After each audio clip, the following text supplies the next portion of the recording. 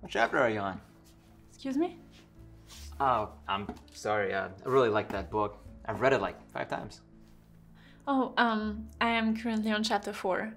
She just got back from her trip, studying abroad. I'm getting nervous though. I feel like she's going to leave her husband. But don't tell me. I won't. But I'm gonna say it gets a lot better. How do you like it so far? I love it.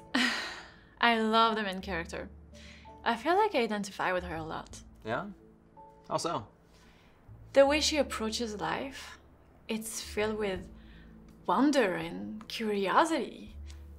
And the way she describes love, how it can take you over at any moment, but also be a fleeting thing at the same time.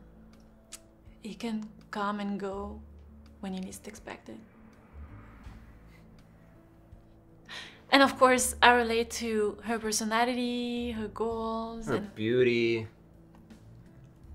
Uh, at least that's how they describe it in the book. I'm sorry. I, I shouldn't. no, it's fine. I'm Jennifer. What's your name? I'm Jake.